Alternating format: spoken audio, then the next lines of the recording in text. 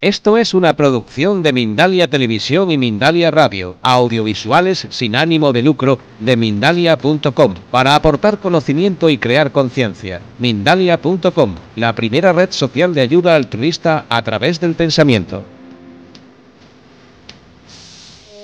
Es muy importante. No habéis oído nada de mindfulness, el poder de la hora. El, el estar presente aquí y ahora es muy importante también para superar una ruptura, porque una ruptura, cuando estamos obsesionados o cuando estamos sufriendo, implica que estamos viviendo en el pasado, que nuestra mente se está yendo al pasado. Y en muchas ocasiones no nos estamos permitiendo saborear este instante porque continuamos enganchados en el pasado, en además en vivencias que reproducimos en nuestra cabeza de forma enfermiza porque las idealizamos, las magnificamos y no estamos aquí y ahora. Estar aquí y ahora es muy importante. Porque nuestra mente va súper rápido. Y si estamos en pensamientos del pasado, esos pensamientos nos están torturando.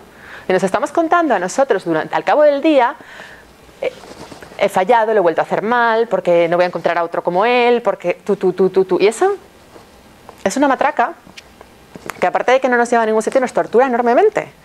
Si nosotros elegimos pararnos y estar disfrutando de este instante presente, disminuimos la velocidad de nuestra mente, ralentizamos nuestra mente y podemos empezar a experimentar paz. Esto que os estoy diciendo es lo que persiguen todas las grandes tradiciones espirituales, el budismo, el taoísmo, el cristianismo, con la meditación. La meditación no es más que conseguir ralentizar la mente para entrar en el instante presente. Una persona normal tiene 20.000 pensamientos al cabo del día, una persona occidental, occidental que estamos en el mundo de, las ideas, de los estímulos, de los impactos, de, ¿vale? En las sociedades orientales que van un poquito más lentos, pues igual tienen 15.000.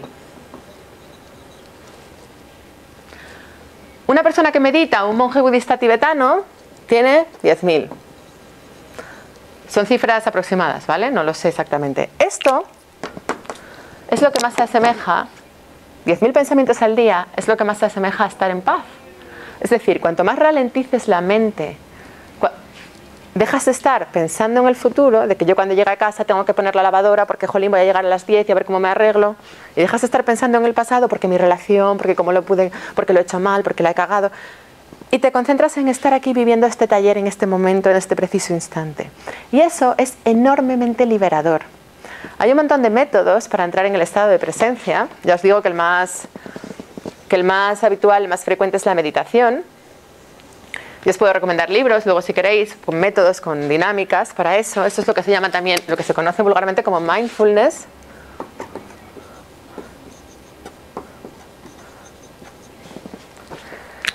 O atención plena. La atención plena nos libera. Es observar los pensamientos que vienen a nuestra mente y hacer esa limpieza de los pensamientos tortuosos. No sé si esto tiene sentido, que os dice algo.